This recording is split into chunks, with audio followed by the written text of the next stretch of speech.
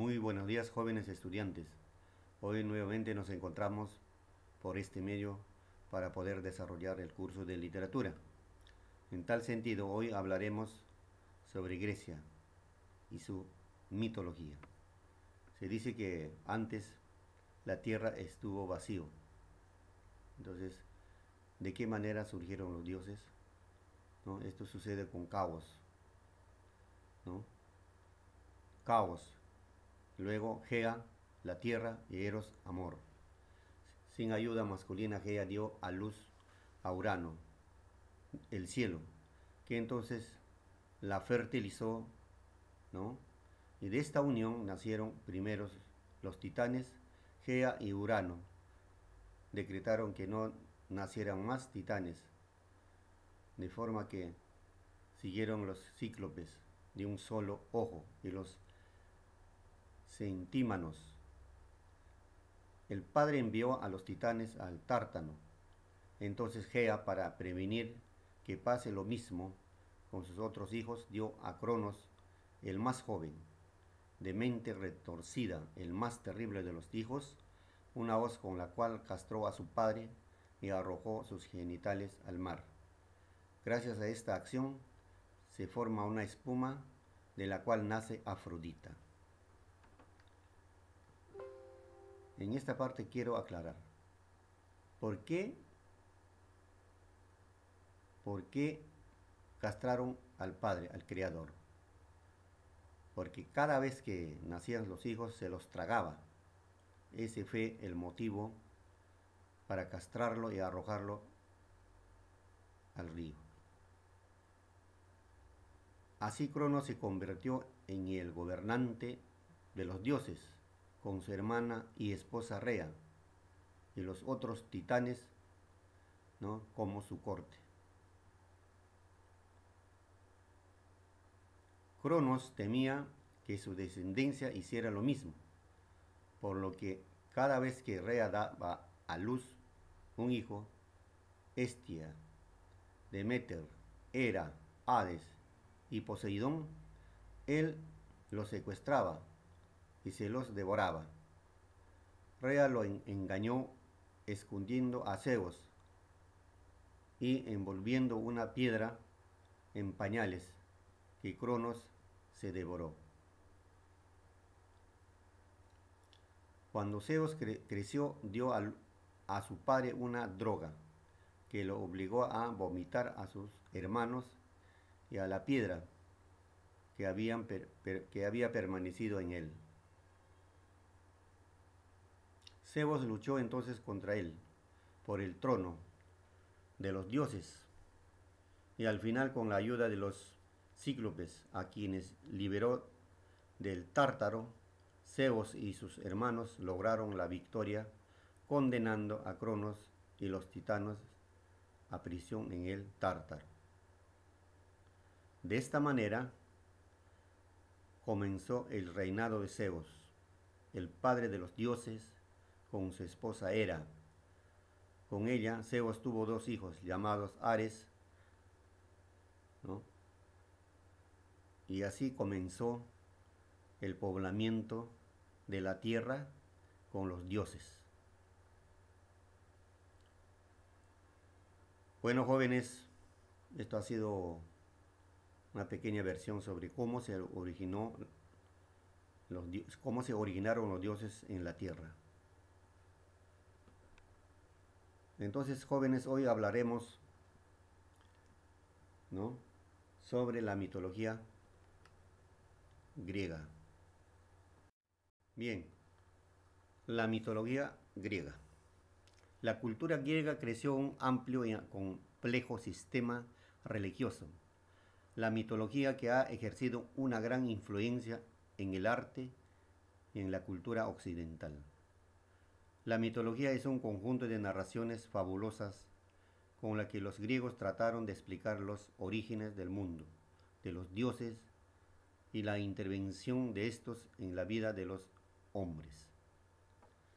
Sabemos que los, seres humanos que vivieron en esa época, más que nada los griegos, creían fielmente lo que decía la mitología. ¿no? Gracias a la mitología nosotros conocemos un sinnúmero de dioses, diosas, que, convivieron con los seres humanos. E incluso el ser humano ¿no? estaba bajo el mando de los dioses. ¿no? Porque la, mitología ¿no?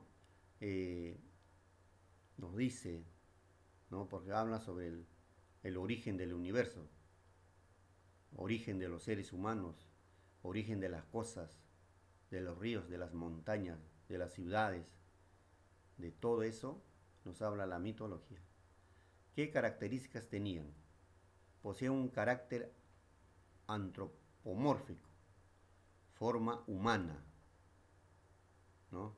Adoptan todos los comportamientos propios de los seres humanos, es decir, los dioses se comportaban como los seres humanos. Explican y representan a las fuerzas de la naturaleza. Comparten con los humanos la cólera y el deseo de venganza. Los números dioses de la mitología griega son en definitiva la respuesta a los interrogantes que el ser humano se plantea sobre el universo. ¿No? Entonces, esa es mitología, ¿no?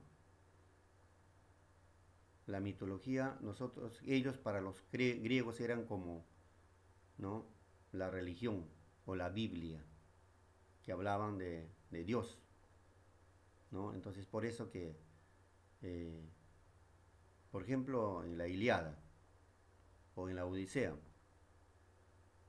prácticamente las personas que luchaban esa guerra se convierten en el juguete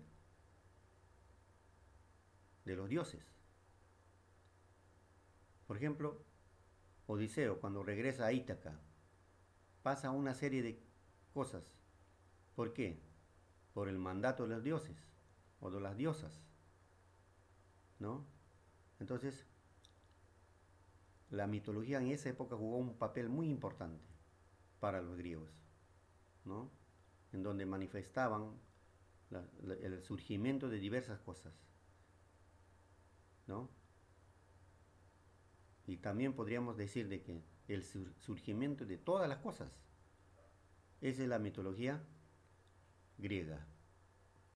Jóvenes, ahora vamos a ver genealogía de los dioses griegos. Dijimos, eh, yo les dije cuando narré esta versión sobre la mitología, primero es Caos, luego viene Eros, Gea, la esposa, ¿no? Viene Urano y Afrodita. ¿Ya? Gea y Urano procrearon 12 titanes. ¿Ya? Tres cíclopes y tres hecatonaurinos. Luego, más adelante se unen Cronos y Rea, donde van a procrear Estia, Hera, Zeus, Demeter, Hades y Poseidón. ¿No? De ahí viene ya el reinado de Zeus. ¿No? Viene Hefesto, Ares, Apolo, Atenea, Hermes y Dionisios. De esa manera surgen los dioses en la tierra. Bueno jóvenes, espero que haya sido al agrado de ustedes. Y si hubiese alguna duda, estaremos resolviendo en horas de la tarde. Por favor, les recomiendo, revisan el libro, el tema de hoy, para que en la tarde las clases sea ágil y, y participativo. Muchas gracias.